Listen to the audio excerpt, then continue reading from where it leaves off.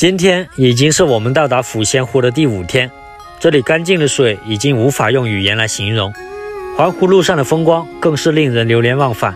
但不得不面对的是，今天也将是我们从这里离开的时间。大家好，我是七哥。我们现在还是在澄江的这个抚仙湖，然后现在所在的位置啊，就是昨天我们过来看过的这个红沙滩，这里真的非常非常漂亮。我们昨天过来的时候转了半个圈，然后的话就发现这个红沙滩这里海鸥是最多的，很多人在这里拍照。沙滩是红色的，可能现在看的不太清楚，抓一把泥沙起来，大家就可以看得清楚了。这个沙子是红色的。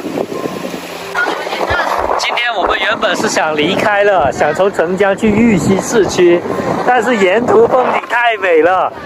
虽然说昨天已经看过了一次，但是但是今天经过还是忍不住，走一步又停一步。我估计我们去到玉溪市区都要天黑了，非常非常美，真的。此时此刻，我忽然想到，是不是每一个将要从抚仙湖离开的人都会有这种难舍难离的心情？我们也不知道下一次再来见到这块高原蓝宝石会是什么时候。我们现在呢，已经到达了玉溪的市区。这里叫红塔区，我们现在要去这个红塔山公园，打卡一下玉溪这边的一个标志性建筑物。他们不是有一座红塔吗？对。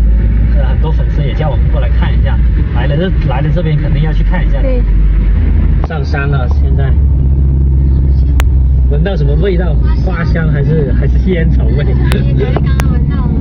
这里就是传说中的红塔山了。我们前两天啊一直看抚仙湖，今天呢又要进山看看山里面的景色了。我虽然不抽烟，但是我们现在可以清楚的闻到这个空气里弥漫的那个烟丝的味道。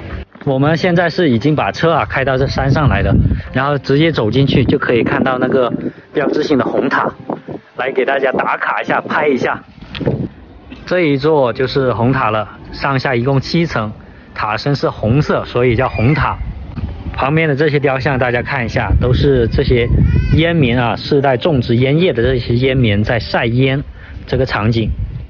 玉溪被誉为云烟之乡，当地种植烟叶的历史十分悠久。也许是当地优良的气候以及环境因素，造就了玉溪当地烟产的高品质。这个展览馆里可以看到许多玉溪红塔公司的发展历史。我们再来看一下山顶矗立的这座红塔。其实红塔原来是白塔。一九五八年，不知什么原因，将已经建成一百多年的白塔染红。这座塔始建于元代，上下一共有七层，总高三十五米。最高的三层塔内部置有佛龛。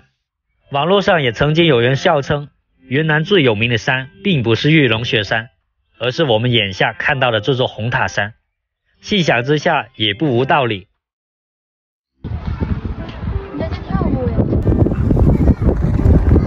好了，现在我们已经打卡完这个红塔山了。那玉溪呢，我们就基本上就到这里，就算是游览结束了。因为抚仙湖我们也待了几天，然后到市区这里逛了一下。最主要是何大路现在还不舒服，浑身无力，这几天都是这样。大家看他的状态，可能可以看得出来。我们接下来可能又得找一个地方住一下，然后给他带他去医院做一下检查，看一下他那些指标有没有什么变化。距离上一次去医院抽血检查也三个月了，也差不多可以去了。